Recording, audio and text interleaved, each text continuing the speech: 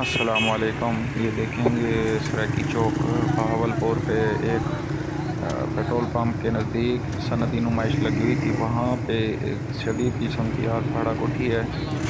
आग की नोयत का अंदाज़ा आप इस तरह लगा सकते हैं कि तकरीबन ये आधा किलोमीटर दूर खड़े होकर लोग वीडियो बना रहे हैं।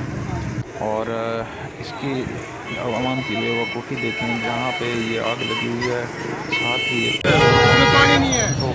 अल्लाह अकबर। सराय चौक पे आग लग गई है।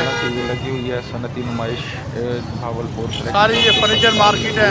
ये सात पेट्रोल पंप में डर है कि अल्लाह ना करे इसकी कुछ हो जाए। आप देख सकते हैं आपको दिखा रहा हूँ पेट्रोल पंप के नज़दीक ही आग लगी है।